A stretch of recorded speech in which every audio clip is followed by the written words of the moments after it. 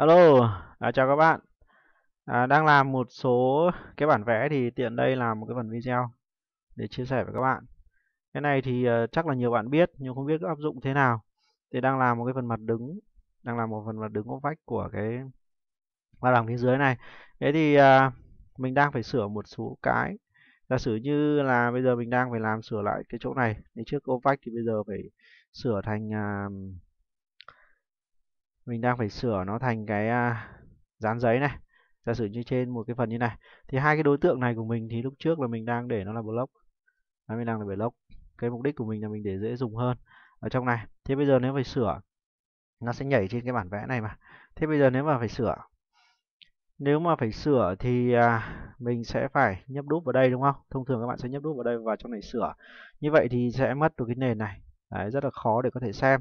Thế thì trong AutoCAD có một cái rất là hay để các bạn có thể để nguyên cái phần nền này mà vẫn sửa trong block. Đây, giả sử như này, mình chuột phải, mình chọn đối tượng nhá. Chọn đối tượng xong rồi chuột phải, trong này nó có một cái là Edit Block and Plate này. Đấy. Rồi ok.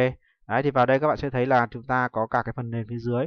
Nếu mà theo dõi như này thì các bạn sẽ thấy rất là dễ khi mà chúng ta sử dụng chúng ta biết được cái vị trí nào chúng ta cần sửa vừa mới làm xong cái phần chỗ nan này đây toàn bộ cái nan này vừa mới chỉnh xong thế thì bây giờ thằng này có thể là chúng ta chỉ cần như này thôi. Hai vị trí này là mình cần xóa đi này. Đấy, đúng không? Mình bỏ đi. Không còn ô vách gì nữa. Và đây mình sẽ phải để lại một cái cột ở đây.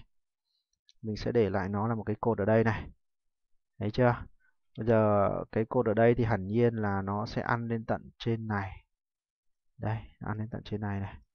Sau đó thì ở dưới chúng ta cũng tương tự, đúng không? Trừ phần này đi. Đấy, và bù lại cho nó là cái phần của phào file ví dụ như này. Bù lại cho nó là cái phần của phào này. Đấy, cho nên là chúng ta sẽ chim những cái mà nó không cần đi. Tiếp tục đến cái thằng này. Thằng này thì à, là một cái này đúng không? Đây ví dụ như thế. Mình sẽ làm à, mẫu một cái thôi. Mình sẽ làm mẫu một cái để cho các bạn hình dung. Đây. Cái nào không có thì bỏ đi. Rồi.